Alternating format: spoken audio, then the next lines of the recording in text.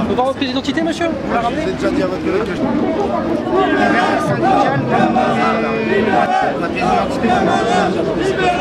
ah, Et par contre, en travaux de droit syndical, là, pour prendre un drapeau. Hein. C'est en fait de rendre une pièce d'identité. Hein. Il y a monsieur euh, 103, 34, 93 qui regardait nos têtes de gaze et était content. je peux l'avoir sur moi quand même. Propos homophobes.